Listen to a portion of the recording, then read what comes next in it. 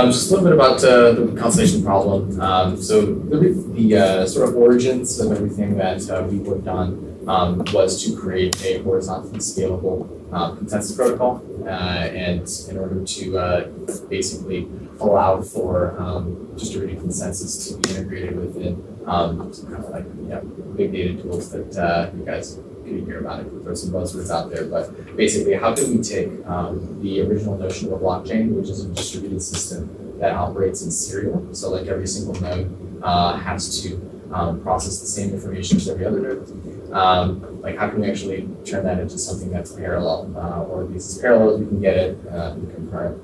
Um, and sort of out of that uh, whole process, um, we found that the only one way to achieve this was to provide incentives for nodes to one validate information, but also to optimize their network topology.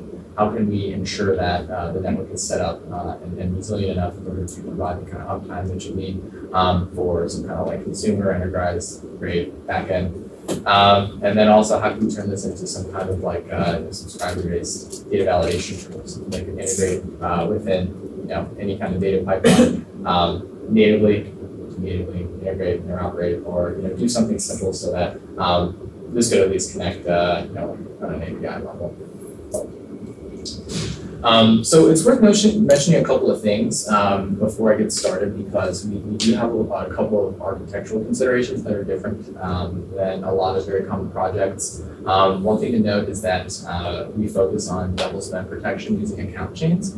Um, so the uh, TLDR on that is that every individual references the previous transaction in order to give a relative ordering to uh, all transactions that are being processed. Um, and what that means is that if someone actually were to try and do double spend, um, they have to fork their own chain, um, which is like you know, easily uh, viewable, if you will. Um, and um, it really helps us uh, with two things. Ordering, since uh, Constellation is um, eventually consistent, we process information in parallel, so we don't have um, total understanding of all the information at any moment, even for like a full node um, correct conditions. Um, and then also that uh, it leaves up, it's kind of like, it basically leaves up to the account holder to be uh, honest and we can, we can find that. Um, also, uh, we handle um, uh, consensus and uh, facilitator selection um, using a deterministic federation. Um, this is similar to something like a distributed hash table, like Kademlia or Chord or things. If you guys have ever seen that, where we use a deterministic uh, distance metric in order to enforce some type of uh, invariant on data locality, which in simpler terms um, that helps nodes tell each other what to do in a deterministic way so there's no sort of confusion. Um, and then also uh, this scheme can be used as well within uh, gossip routing um, to allow nodes that don't have the total state of the network uh, to participate um, and provide actual like, work and validate information.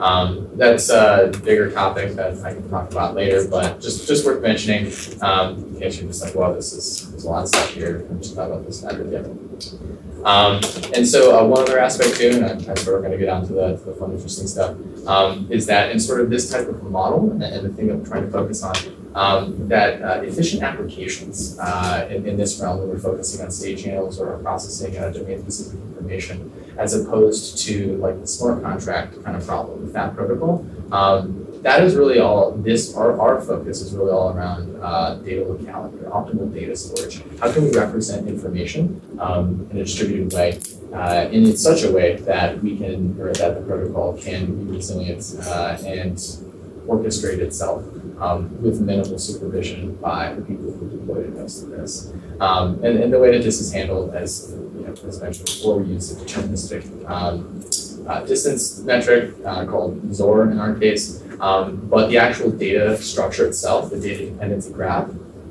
forms uh, hierarchical edges. Um, so obviously, like uh, we were in ag protocol, so we have, you know, as opposed to a blockchain, um, we form a graph of blocks. Um, in this case, uh, these blocks themselves, in between state channels, can form uh, greater hierarchies, if you will, re- referencing each other.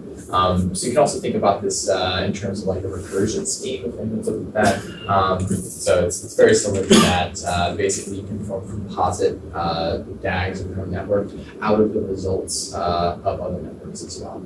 Um, it's really great for, for solving issues with data locality, um, uh, which is kind of like the name of the game of you know hosting this info in, a non-redundant way that solves certain scalability problems.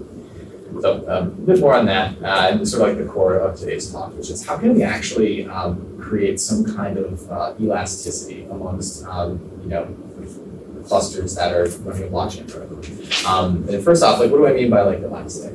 Um, so often, like oftentimes, uh, if we're trying to aggregate information, um, we might need to uh, increase or decrease the amount of resources we've allocated to um, some type of a problem uh, in order to handle increased load or decreased like load. So basically, if you've got like a 100 node Elasticsearch cluster um, and you know you're processing like a terabyte of information per second, I don't know, it's a Twitter Firehose thing, all of a that, that drops down to like you know a megabyte. Um, you don't need that entire cluster, so it's just it's not advantageous for you to keep that up.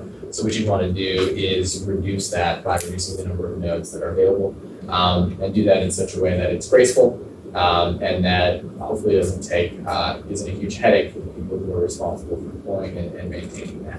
Um, so this is known as like elasticity. Um, it's also really common for uh, data processing jobs like Hadoop or Spark, where sometimes there might be an issue, uh, especially if you're running it in an untyped way, like a PySpark or something, um, that could cause a corruption or crash of your nodes. Um, it allows for the cluster to restart itself and try to retry um, in, in, in a graceful way. Um, so it's, it's, sort of a core backbone to um, a lot of the data pipelines that people use when they're processing a lot of unstructured information. Um, so really the, uh, the, whole goal here is that basically we want to make sure that the resources that we've allocated actually match um, the demand that's necessary. Um, it's really just the best practice and kind of uh, also bottom line for a lot of folks.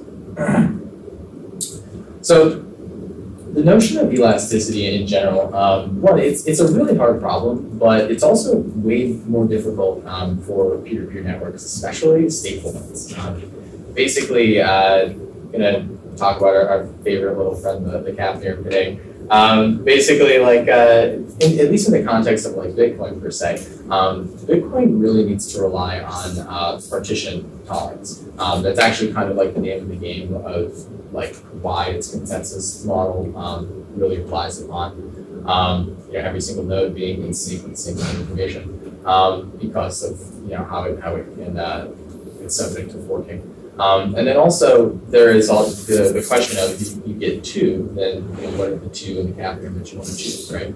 Um, so typically, like in the real world, it doesn't actually like add up to be like I'm perfectly partition tolerant and I'm consistent, right? There's always some give or take, some trade-offs. Um, so for instance, what happens uh, like with Bitcoin is that um, when blocks are created, uh, there is sort of like an acceptance time where things are um, until there are enough children underneath that such that um, there wouldn't be a longer chain that could be proposed, uh, at least probabilistically, that that block would get lost. Um, so it's actually sort of like a uh, loss on consistency um, in order to ensure some notion of availability. We can at least see that um, the transaction that was uh, proposed has been is pending now, um, which isn't like incredibly available because if something is highly available, we, did, would assume um, that we see it you know being appended to. Uh, I guess in this case the ledger, but at least like it's been read and written uh, immediately. Um, still very slow, but we at least get a taste of both, right? Um, well, when we're in the kind of um, space right now where, or at least with our type of problem and, and the space of trying to um, apply like consensus or get that to, to integrate with um, you know large scale data processing, um, what we really need to focus on is actually um, availability uh, as opposed to partition tolerance or consistency is very important and so is partition tolerance. Please excuse me for saying that but availability is really the, the. Um, we want to make sure that we process this information and at least have an understanding of what we process as quickly as possible. Um, it's, it's kind of like the, the backbone of, of, you know, especially like all the apps and things that we use um, on a daily basis. So um, sort of the sort of the thing that we uh, had to, to, focus on um, was how could we like make sure that we had a protocol that ensured availability, but didn't uh, sort of like skimp on the partition tolerance and consistency that we all required. Um, and uh, you know, sort of, uh, there's almost like a, I'm going to say, there's a relationship in this problem between partition tolerance and consistency in such a way that um, monitoring one can help infer and make decisions to improve the other. There's almost like a cyclical relationship, I would say. Um, and it, it's kind of interesting uh, where this came from. So um, one approach that uh, you know we, we've used uh, is using minor like redundancies, at least uh, in terms of like the, the like node type thing, um, to help improve partition tolerance. This is kind of like the same kind of overlap you see with HDFS, um, which uses uh, you know its own kind of like redundancy schemes. Uh, obviously, with DHT kind of thing, that's that's more like best. Um, but then again, uh, you know, any kind of like you know, sorry, any kind of cryptocurrency um, really needs to rely on global state and, and convergence of global state. Um, mainly because uh, of the notion of like validated rewards, or how do we make sure that people who are participating um, are actively like you know incentivized and not basically like what happened here? Did someone mess this up? Why didn't I get my token? Or, or right? Um, we really need to make sure that there are guarantees, um, at least in the long term, on what happens, such that you know I don't wake up and my money is. Um, so yeah, consistency really is the uh, aim of the game for for building a cryptocurrency. And what we what we found is that with the cyclical relationship, that we could actually take um, some approaches in, um, in the space around like uh, reputation modeling um, peer-to-peer network, something called Eigentrust, uh, which is used by another uh, cryptocurrency called NEM. Um, and a lot of, and it's, it's actually kind of like a de facto kind of model um, where it essentially does an eigenvalue decomposition on a graph of edges that represent trust, uh, and then gives you principal eigenvectors out uh, that help you understand like what's the total sort of state and the relative state of each person in terms of how they're trusted by their peers. Um, but there's also uh, another metric, um, or I think it's a, I think measure. I don't know if I want to go down that road, but I believe it's a measure. Doesn't have the triangle quality, whatever, um, called node accessibility, uh, which has been used to understand how well uh, a node inside of some type of a, a network can access other peers. Uh, basically, if I start with a starting node, um, what's the probability that I'll be able to reach any other peer in the wider network? Um, uh, sort of a rudimentary way. Um, here, I actually just threw the, the most canonical definition, which is just the exponentiation of Shannon entropy over um, the edges going out of each node. Um, I, I, could get into that later, but uh, we actually have some related work in uh, our economic model that directly ties to that Shannon entropy value. Um, but I, I, think that's for another talk. But very interesting stuff. Um, and it also gives us an understanding um, of this partition tolerance as well right? But, but this partition tolerance that we're measuring is on, on edges that represent trust, which also help us understand, um, is there going to be a discrepancy amongst the nodes um, such that if there is a low discrepancy, that means that the total state will converge in a reasonable time. So we're gonna, we're gonna get there. Um, and so yeah, probably should have switched to the slide, but basically we all need uh, agreement. Um, it's an interesting paradox too that that um, sort of goes in line with this uh, this kind of feedback loop. Um, yeah, it's, it's basically just uh, you don't want to wake up and everybody disappear. So the solution um, was twofold. Uh, basically, one, we wanted to use you know obviously something that um, is sort of a de facto like trusted approach called Eigentrust. It's been used before uh, helps us understand uh, in like the actual like influence, if you will, or the relative trust every single person. Um, it converges globally, so that's great. Uh, and also there are the implementations, great. And we also, um, but the real question here was, how do we, you know, what do we even decide upon to globally converge, right? Um, because possibly every single node could have a different state. Um, and so it really just begs this question, like, how can we make a decision locally and have some kind of a, at least probabilistic guarantee that that will converge globally? So fortunately, that uh, accessibility measure that we talked about um, can be approximated using a type of random or, or random walk. Um, specifically, we use one called the self-avoiding uh, random walk.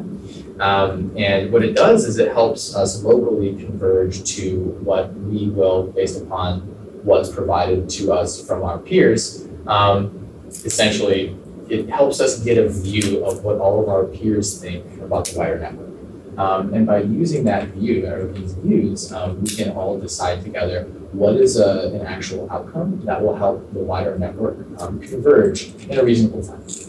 Um, and I feel like I should say this now before I, I jump um, into the rest of the stuff, that basically the most computationally expensive operation that you will ever encounter in, in like, you know, distributed systems is just sending stuff over the network. Um, the whole kind of like mantra to like the big data world was send operations, send a query, send code to where your data is stored and send the result. Perform the operation uh, on the actual where the data is stored directly, like in reference of the data locality, um, and uh, try to make them as embarrassing and parallel as possible. Great, just wanted to, to break that down. So um, the real goal here is that we want to minimize the amount of data that's sent over the network so we don't have to wait for a long time in order to have the network converge to a global state. That's a self-avoiding walk. You just can't cross yourself. And that's just a GIF of an eigenvalue decomposition. Um, that's actually part of like an SVD or something. I don't know if it's the best, whatever, but it's, it's a cool GIF. Um, anyway, so why I call it Meme, right? Like, what's that, right? It's not, it's not, not just like aliens. It's not because they're awesome. But, uh, it, it's actually just something that kind of came out of it, right? Um, so basically, like, if, if you take the definition of it from like Wikipedia, um, it's some kind of a common idea or behavior, you know, amongst a community of things, right? So this actual self-avoiding walk is an iterative function system that tries to understand commonalities between each other peers' worldviews, right? Um, and by doing that, we can locally make a choice on what we think the global view, view will be, um, such that the actual output of the rest of the you know, total state of the network will be a small set of unique, diverging but easily decidable values. Something where it's like if we have 100 nodes, you know, the vast majority of the responses will be towards one proposal, and we can take the majority or, you know, sort in, in the case of time. Um, just kind of. So this is the actual algorithm itself. Uh, I read this from the hot off the press paper that is like going to be sent up to GitHub and archived very soon after this document. But basically, um, there's a sub process that runs uh, at all times uh, on our nodes. Um, we are constantly sharing information of, uh, well, basically we're always sharing blocks with our peers, at least in terms of light nodes, right? Um, and in that case, uh, inside of our blocks, we have a, a data type, uh, at least in constellation called an observation, uh, which stores information about the behavior of each individual peer in the network. Like, did it did it time out when we were trying to redownload some information or during a consensus process? Um, are these consistent, right? And what we do is we constantly update our local worldview um, using the self-avoiding walk. So we constantly aggregate these um, observations. Once we hit uh, you know a certain time trigger, we then retrain the walk um, and we constantly try to keep that as up to date as possible with new information that hasn't been committed to the global state yet. Then, um, once we've reached our snapshot, or once we've been proposed a snapshot, which is what we call our global state, that has um, a height to it, which means that um, that is beyond a certain threshold. Uh, it's just configurable in order to make sure that um, convergence happens in a, in a you know, appropriate time. Um, then we weight uh, all of the proposals by peers by our local score. Um, and then we propose the highest scoring one to all of our peers through a broadcast, and then we deterministically select one of those. And we take the results of that to retrain Eigentrust, uh, which will give us those deterministic outputs for validator rewards and whatnot. Um, and then that, that Eigentrust uh, state will become the new base state that every node makes its local decisions from. So we all start from Eigentrust, we start adding new observations, and then we update that, that local state. Um, so yeah, so there's a little uh, interesting nuance to this as well, um, which is just something that came out of um, you know testing it. Basically, um, and also just an understanding that you know any kind of these models, we need in any machine learning model in, in general, um, not in any model. I take that back totally. Um, obviously, I don't supervise learning one, but in our in our case right now, in order to actually understand uh, some notion of commonality, right? typically, like at least from my own view, and I think it makes sense. Um, you really need to have, or actually to ensure that it converges as well. I mean, you need some kind of baseline commonality, right? Um, we need to have you know, something that acts almost like training data, if you will, um, to this model, so that uh, we can try to capitulate towards you know some type of a uh, understood true state, right? Um, so we call uh, actual nodes uh, that are performed in a, in a, you know consistently well um, a seed node, and we give them a higher weight, uh, and that is something that is determined um, actually on the, on the local basis. And um, actually, excuse me, that's determined uh, on the eigentrust basis. And then we have what we call generator nodes, um, which uh, just sort of a term that came from some other work uh, called generative economics um, that created this process to create a uh, economic model that was based in actually like some unit of disorder entropy. It was all back into that self-reporting walk. Um, and then those are actually weighted directly by the local scores. Um, so that's uh, that's actually how this weighting occurs. And this is actually kind of like the cool part where we can tie in um, other types of proof models, like uh, proof of work, proof of stake. Um, you can use the actual mechanics of how you tie break to select your seed nodes. Um, and then those seed nodes are what everything in the wire network tries to capitulate towards. Um, with what we did uh, was a little bit different because we really focus on um, kind of like, actually, uh, Why? Sorry. Do you want me to tweak that for you? Oh. So you want that to be. Oh, it's okay. I'm almost. I'm actually kind of almost done by the time. Thank you. Um, so what we did was we actually came up with our own proof model um, called proof of reputable observation, uh, which is essentially something like uh, kind of like induced churn is the is the phrase in DHTs, um, where you kind of try to reshuffle um, identifiers around your nodes around um, on the actual cluster itself to make sure that the that each node is accessed um, in the most like equal of like rate possible. Um, it's all like in DHTs in general, sometimes you have a problem where um, certain nodes get access more than other ones, um, and that can cause cause problems. Um, it, it's sort of you know akin to that, but not 100%. It's just sort of a, a thought process. Uh, but basically, as, as nodes, um, nodes can basically shift up and down um, in terms of relative ranking um, based upon how they perform over time. So if a node is constantly like doing perfect, um, its network connectivity is amazing, um, if it doesn't have reports of you know conflicts or misaligned data or being offline, then what we want to do is we want the rest of the nodes to capitulate towards that. We want to make sure that their behavior um, is exemplified uh, and that the rest of the, the network will here,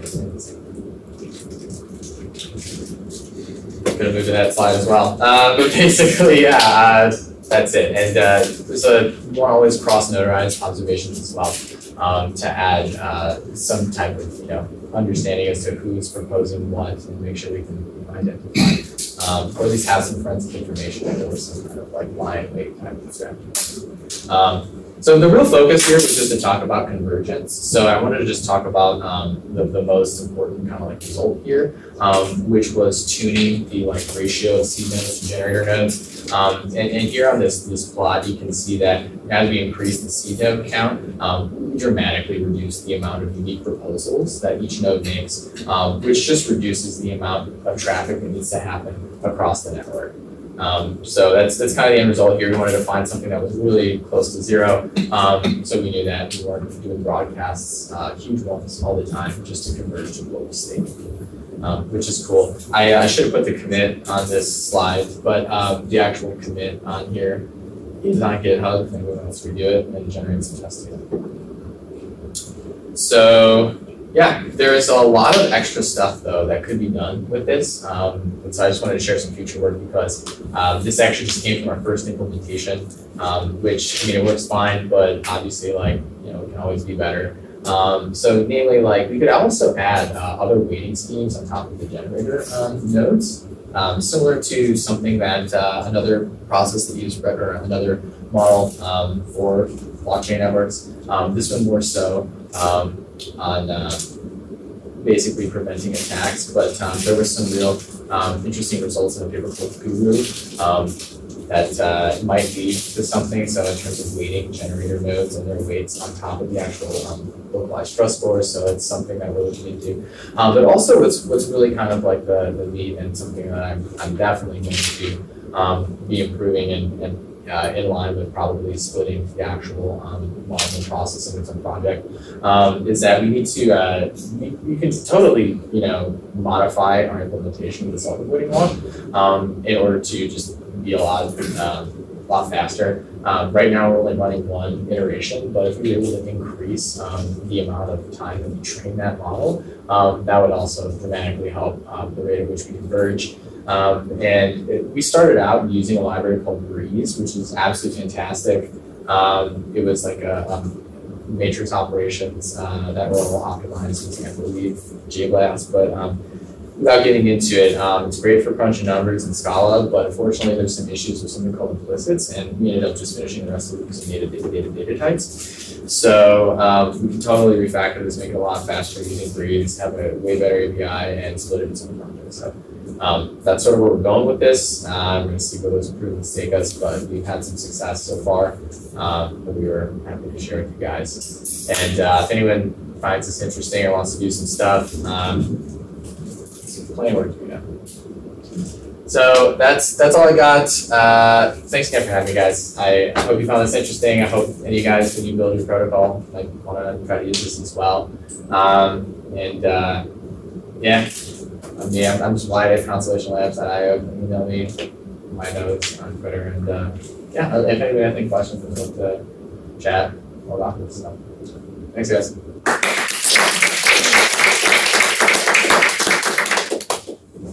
Are there any, um, sorry, I just, are there any particular use cases or people kind of approaching you guys where they say like this type of approach and this protocol is, is they're, they're better served and just kind of what, why their decision and kind of going that way? That- Yeah, um, yeah, totally. So I mean, at least in terms of like us and who we've been talking to, um, it's it our, our real focus and kind of like the value prop is around uh, just adding security to like data pipelines or basically um, how can you add OAuth to like a device? Um, is a great kind of a, a question, right? And, and make sure that that is audited throughout um, some type of an indexing pipeline. Um, so folks are really uh, concerned with security, um, but also processing a lot of information and understanding, um, you know, networks of, of processes that are based around that pipeline. Um, can really get a lot of information and guarantees um, around like what data was produced, where is it going, and uh, you know, are there holes that can go in their system. So um, I, I can't really say a, a whole lot yet about um, our most recent like project, but um, you know stuff in line with that. Um, we've been working with the Air Force on, and um, a couple of other folks as well um, on our website. Yeah. You mentioned earlier, this is a public blockchain. Is there a option for it to be hybrid? And, you know, if, if people want to keep some data private, you know, to not have to put it on. Oh yeah, I mean one hundred percent. So um, with the approach that we have towards like application support, um, which is we wanted to create like a framework for state channels, creating your own um, independent like network that can process your own user-defined data type. Um, you can decide what level of centralization, decentralization, public-private that you want. Um, us ourselves, like you know, with our public network and uh, DAG, or our token, which, which runs on that. Um, obviously, we're you know we exist in order to provide some type of a payment channel for open state channels. Um, but obviously, for some folks, like you know, they, they want to have it private, and we totally support that. Um, and the tool is just as useful for that approach as well. So what, uh, after you convert to your native chain from ERC-20, uh, what kind of wallet we have to use? Oh, it's a great question. So we're, so we're building one right now um, that you'll be able to download, um, and uh, basically like we'll, we'll have it available for you. Um, So you use your own wallet. right, correct. Um, I always forget the the the signing scheme that we use, but um, I forget. But basically, I've taken the the exact same um, the exact same methods that we use for for signing uh, you know transactions in our um, like test environment or random transaction manager. Um, and just created an executable that goes into a UI wallet. So it's if you've ever used, um, I mean, if you've ever used like uh, let's say what was the Ethereum like client Yeah, uh, Wallet. MetaMask. MetaMask is the browser one, right?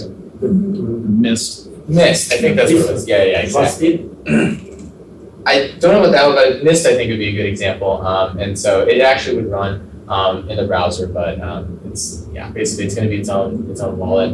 Um, and uh, you just need to create your own um, key, and you'll be able to do that. So, So are we able to issue our own coin on top of your chain or just like our basic chain? So that's a great question. Um, and I would say that it depends based upon what the state channel developer actually wants. Um, so you will, if when you create your own state channel, have the ability to tokenize the data that you're processing. Um, but I mean, if that's something that doesn't have value to the person who's developing it, then maybe it doesn't make sense. But um, I would love, I mean, my kind of like dream vision of all of this is to create like, um, you know, units of value around individual data types um, themselves.